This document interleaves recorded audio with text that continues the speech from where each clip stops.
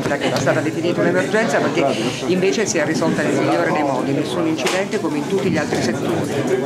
No, non era un'emergenza di ordine pubblico quella, obiettivamente, era un problema di accoglienza umanitaria. Noi abbiamo disposto i servizi coordinati dalla prefettura proprio perché non succedessero non incidenti di OP, ma soltanto per un principio di accoglienza e devo dire che la prefettura ha svolto un lavoro egregio, straordinario. Concludiamo, un appello, mezzanotte di Capodanno, trascorriamolo tranquilli. Divertitevi in maniera intelligente, tanto cuore ma un pizzico di intelligenza. Un appello, ma questo è già un primo elemento ecco, che si può trarre per cercare di garantire la massima tutela per questa festa. Ma io non generalizzerei che qualche ragazzo abbia esagerato e parlo di poche decine, non significa che la maggior parte dei giovani a Salerno utilizzano troppo alcol. Durante le feste qualcuno eccede, bisognerebbe che tutta la società civile, noi stessi, li educassimo in maniera diversa, ma non è un problema di criminalità o di ordine pubblico, è soltanto un problema di attenzione verso certi ragazzi che non hanno il senso alla misura, nient'altro che questo. Grazie. Eh, nuclei artificieri, questione di Salerno. Vai Alessio. La prudenza non è mai troppa, alcuni consigli utili per evitare poi le tragedie. Allora, i, i, fuochi d'artificio fanno parte della nostra tradizione, no? in particolar modo del nostro territorio, eh, senza demonizzare mm, la, la, loro bellezza, la gioia che trasmettono.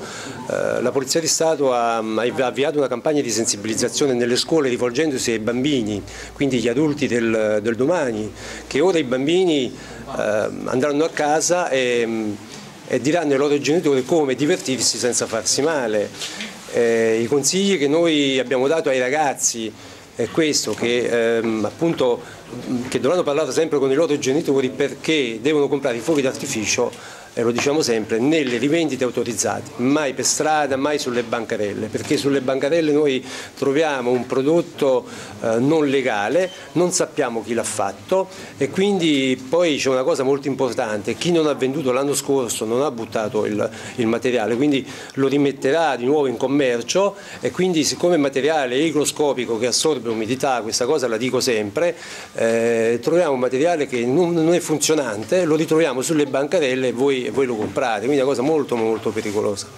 Ecco, c'è un mercato parallelo, un mercato illegale, sicuramente per spendere meno si punta maggiormente a questi canali. Eh, che tipo di eh, fuochi quest'anno sono stati messi in commercio e quali sono quelli soprattutto pericolosi che avete anche già sequestrato?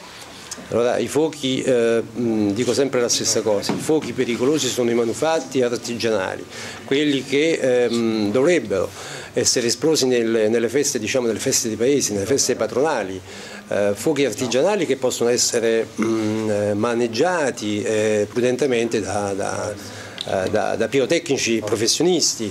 Qui ci troviamo persone che utilizzano ehm, dei mortai messi in, in tubi di, di, plastica così eh, diciamo improvvisati all'interno e iniziano a sparare senza pensare che un tubo del genere dopo 3-4 mortai, dopo 3-4 esplosioni inizia a diventare caldo, basta inserire un manufatto all'interno e gli esplode sul posto e lì è, è, ha un effetto mortale questo, quindi tutto quello che, quello che diciamo sempre è che eh, bisogna comprare fuochi illegali e nelle rivendite. Sulle bancarelle troviamo anche dei, dei falsi, abbiamo dei fuochi d'artificio che sembrano legali ma vengono costruiti, eh, copiati diciamo, no? perché Molti giornalisti dicono continuamente i fuochi illegali, i fuochi cinesi, i fuochi cinesi sono legali, i fuochi, i fuochi, i fuochi legali vengono costruiti in Cina, vengono controllati dai produttori, poi arrivano in Italia e vengono, e vengono controllati eh, qui in Italia, quindi abbiamo un, un mercato cinese, un mercato cinese che lì, da, da lì provengono i fuochi d'artificio, quelli illegali. Eh, quelli illegali spesso vengono copiati qua in Italia un po' diciamo, all'incontrario. No? E qui abbiamo, troviamo dei fuochi d'artificio illegali, vedete dei cartoncini dove vengono poi riempiti di materiale pirotecnico eh, senza una, un, uno stabilizzante sotto e molte volte anche una cassetta del genere, nell'accendersi si può capovolgere e quindi diventa un vero e proprio proiettile.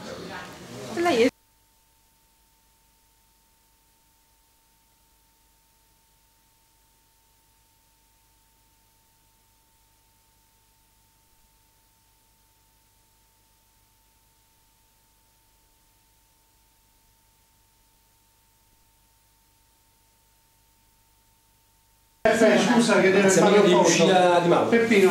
Aspetta un attimo. Beh, se si sposti un attimo, io faccio la foto per fare una cosa. Ho capito.